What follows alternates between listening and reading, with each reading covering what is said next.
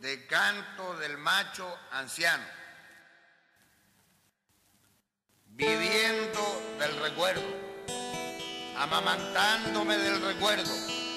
El recuerdo me envuelve y al retornar a la gran soledad de la adolescencia, padre y abuelo, padre de innumerables familias, rasguño los rescoldos y la ceniza helada agranda la desesperación en la que todos están muertos entre muertos y la más amada de las mujeres retumba en la tumba de truenos y héroes labrada con palancas universales o como grabando. ¿En qué bosques de fusiles nos esconderemos de estos pellejos ardiendo? Porque es terrible seguirse a sí mismo cuando lo hicimos todo, lo quisimos todo, lo pudimos todo y se nos quebraron las manos, las manos y los dientes mordiendo hierro con fuego. Y ahora, como se desciende terriblemente de lo cotidiano a lo infinito, ataúd por ataúd, desbarrancándonos como peñascos o como caballos mundo abajo, vamos como extraños, paso a paso y tranco a tranco, midiendo el derrumbamiento general, calculándolo a la sordina, y de ahí entonces la prudencia, que es la derrota de la ancianidad. Vacías restan las botellas, gastados los zapatos y desaparecidos los amigos más queridos nuestro viejo tiempo, la época, y tú, Binet, colosal e inexorable.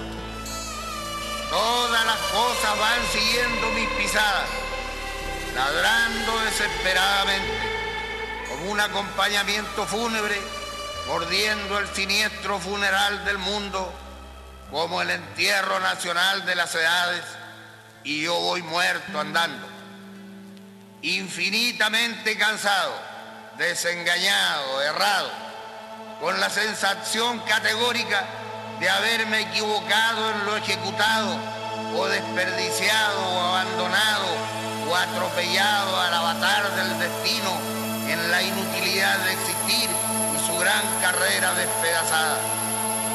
Comprendo y admiro a los líderes, pero soy el coordinador de la angustia del universo, el suicida que apostó su destino a la baraja de la expresionalidad y lo ganó perdiendo el derecho a perderlo. El hombre que rompe su época y arrasándola le da categoría y régimen, pero queda hecho pedazo y a la expectativa. Rompiente de jubilaciones, ariete y símbolo de piedra, anhelo ya la antigua plaza de provincia y la discusión con los pájaros, el vagabundaje y la retreta polillada en los extramuros.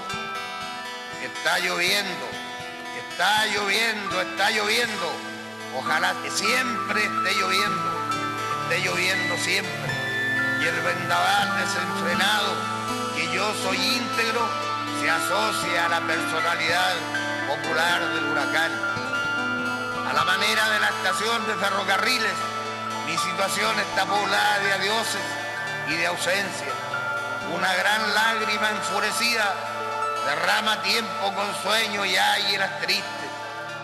Cae la tarde en la literatura y no hicimos lo que pudimos cuando hicimos lo que quisimos con nuestro pellejo.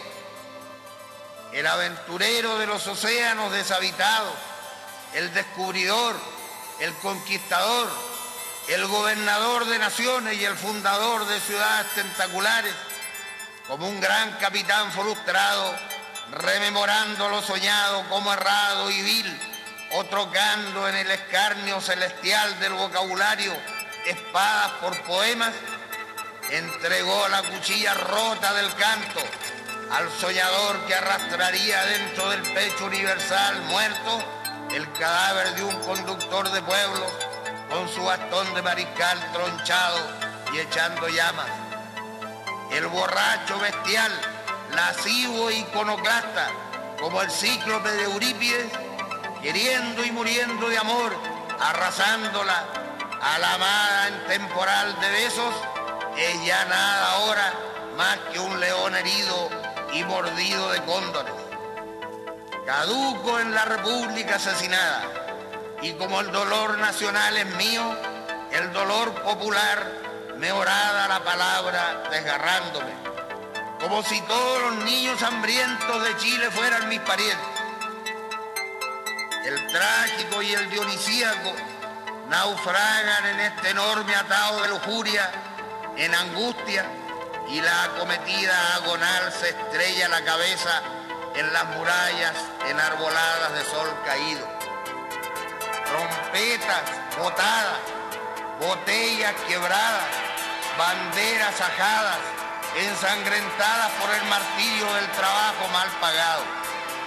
Escucho la muerte roncando por debajo del mundo, a la manera de las culebras, a la manera de las escopetas apuntándonos a la cabeza, a la manera de Dios que no existió nunca.